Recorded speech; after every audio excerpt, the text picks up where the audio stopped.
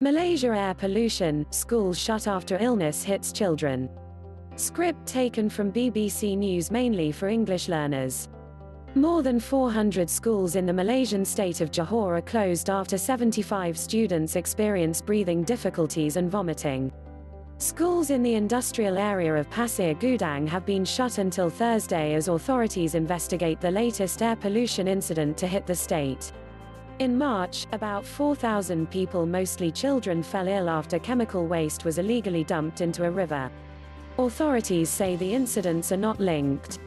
More than 100 primary and secondary schools as well as 300 private kindergartens were among those ordered to be temporarily shut, reported state news agency Bernama.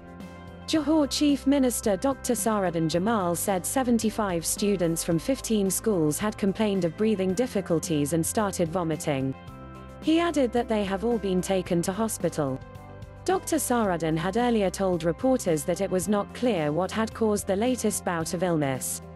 However, he said that it was not linked to a previous pollution case in March which saw 111 schools shut and thousands of people ill after inhaling toxic fumes from the nearby Kim Kim River. Malaysian Prime Minister Mahathir Mohamad vowed on Tuesday that stern action would be taken against those behind the incident. He added that the latest incident should not have happened again, after the previous incident. In March, thousands suffered breathing difficulties, chest pain and vomiting after up to 40 tons of chemical waste was illegally dumped into parts of the river. Fire and rescue officials identified at least 15 different types of chemicals, including the colorless and extremely poisonous hydrogen cyanide. Malaysia later charged three people, two Malaysians and one Singaporean, in connections with the incident.